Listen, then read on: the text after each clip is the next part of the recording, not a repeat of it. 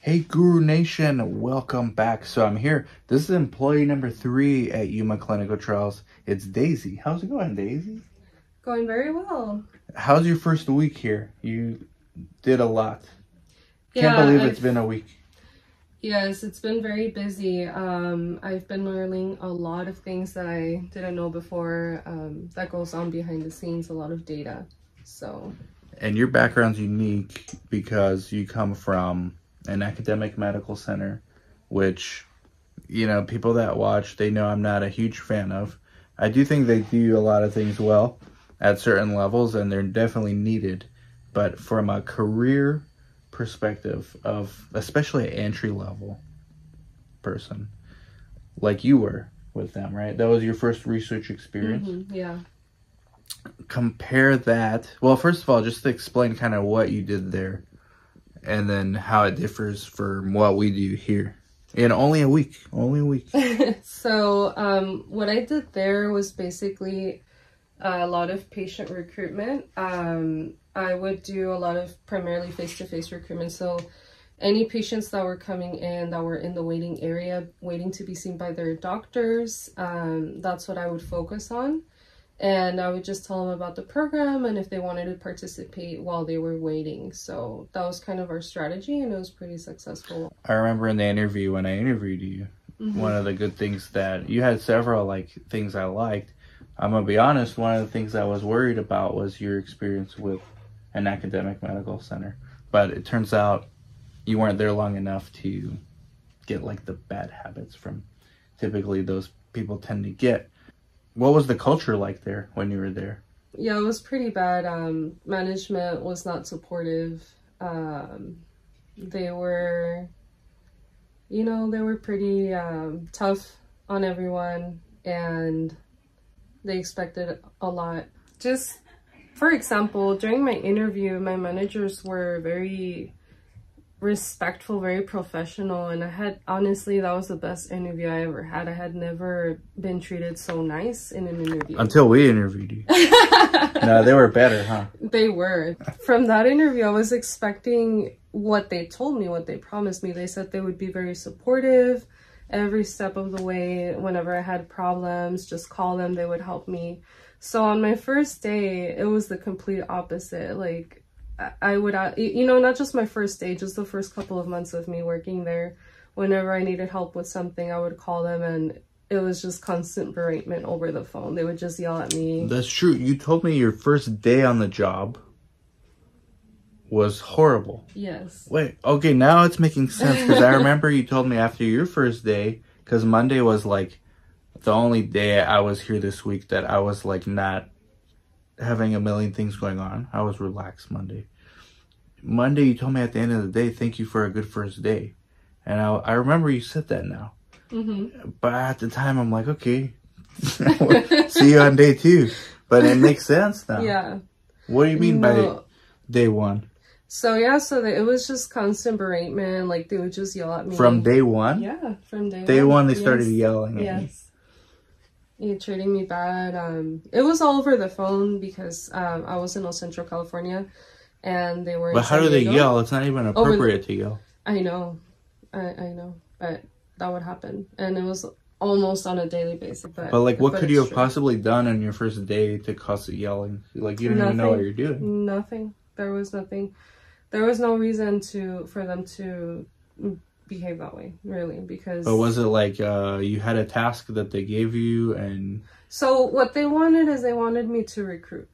That was their, Okay. you know, obviously like that was their most um that was what they wanted the most because their recruitment well, we did that here too. But we're not yelling. I haven't yelled yet. their I don't yell. their recruitment like their numbers were not good. Uh San Diego they were not performing well. So I what I now, you know, looking back, um what I get from that now is that they probably had a lot of pressure from their management Mhm. and they would put all of that pressure on me in return On you day know? one. on day one exactly Wow. so day one i you know i didn't have access to many to anything right like we have to make a bunch of accounts to all the systems but they d- they already wanted me to recruit even though i could not do anything so it was it was frustrating And then it just kind of became stayed the same or got worse throughout. It just your- stayed the same throughout. Yeah. Okay, so day one was consistent with the rest of. Everything. Yeah. But you from- picked up some skills too from them, Yeah. right? Yeah. Oh, I learned a lot. I learned a lot. It was like for me, it was a baptism by fire, and of course, I'm even though it was not a good experience, I w- I'm still very grateful for everything Yeah. because I learned a lot. And Well, yeah, that's what I was saying earlier. Mhm. Like, keep that in mind. Yeah. You know. and I am gonna keep that in mind. Um, you mentioned whenever if I ever become a manager, of course I'm gonna keep that. I'm always gonna keep that in mind and know not to be that manager, not to be that way to people. Um, it's important for people to understand that um, sometimes smaller sites, it's not like small sites are perfect either. I know plenty of people that work at small sites where they also get yelled at and things are inappropriate as well. So it could be that not all AMCs are like that also. Just want to be fair to people. It's interesting to see that these problems occur at all places. What are you thinking about like the first week this week there was a lot going on. Give us a rundown basically and like what you learned so far. What's different from where you used to work and all that. People are curious like what's different between like the smaller clinic and Yeah. the bigger one because the bigger ones are prestigious. You know, a lot of people are attracted. They're like, "Oh, I want to go there." Yeah. It's more the prestige. But what I really liked so far, um, this is my first week, but I, I've noticed a difference, you know, obviously right away. And what I've really liked is that I'm much more involved in the entire process. And at UCSD, they wouldn't let me do much. Um, but I always wanted to learn. I would always ask my managers if there was more I could learn.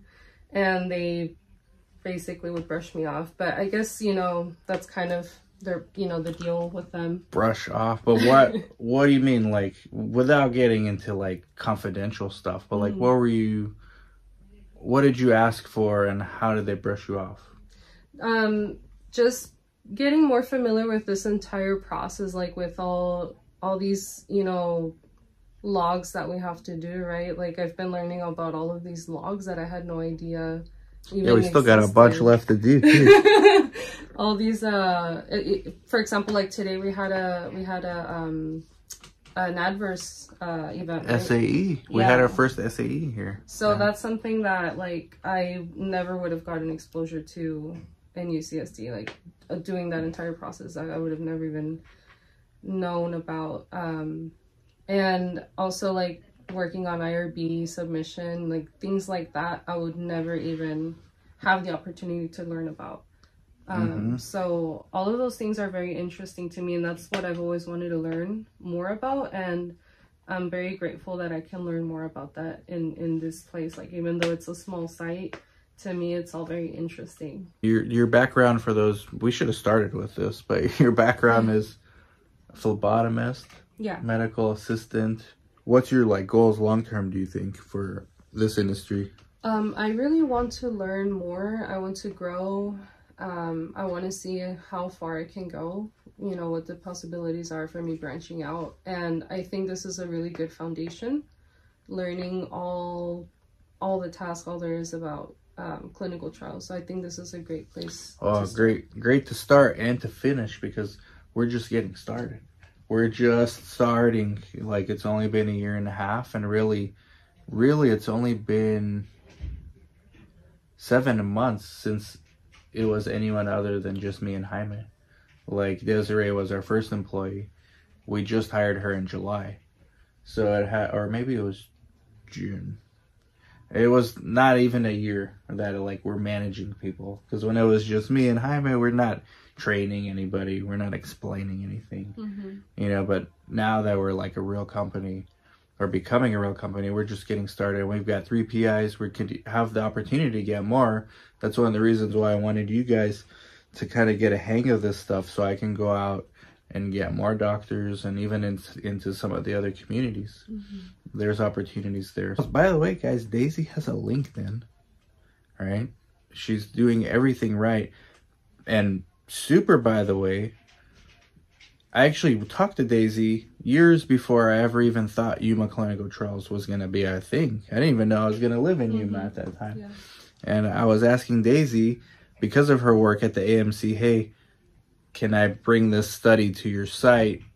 Because a CRO hired me at that time to bring a study, which it didn't work out, but Daisy was on it.